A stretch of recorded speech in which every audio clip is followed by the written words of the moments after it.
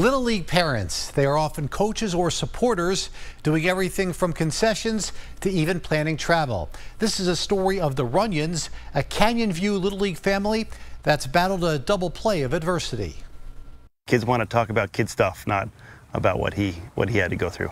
Canyon View Little League All-Star coach Zach Anderson has known Lucas Runyon for six years, the last three being long ones. It started in 2020 when Lucas's mom, Angela, was pregnant. A prenatal checkup showed elevated blood work known as preeclampsia and HELLP syndrome. Her son and Lucas's baby brother, Elliot, was induced six weeks early, but Angela's condition worsened. I was scared. Angela's husband and Lucas's dad, Ray, I know, I know. learned that Angela's kidneys completely stopped functioning. The medical staff was doing everything that they could.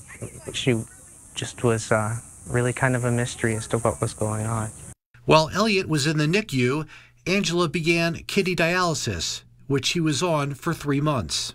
By late summer 2020, Angela's kidneys improved enough for her to be removed from a transplant list. But then the following year, she was hit with another major health issue. It was unbelievable, to be, to be honest with you. Angela was diagnosed with stage two breast cancer and immediately began chemotherapy. We are going to get back to normal and like try to put it in the rearview mirror and then just more health problems came up and cancer is one thing you can't put back in the rearview mirror. As Angela battled cancer, Lucas continued playing baseball. His Canyon View Little League teammates supportive, here wearing pink shoelaces. They rallied around him. They understood what he was going through and they helped him get through it. It's provided a, a great place for him to come and, and do something he really likes, which is play baseball. Meanwhile, Angela continued treatment. She's strong, she's resilient, she's persistent, she's tough. And today, Elliot is a healthy three year old.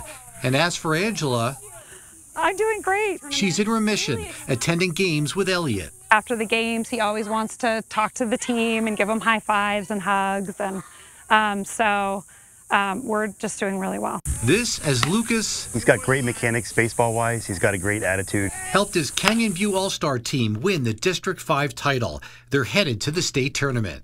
We're one step closer to the Little League World Series. We are back to living a full energy life with, with a full family and three wonderful kids and baseball.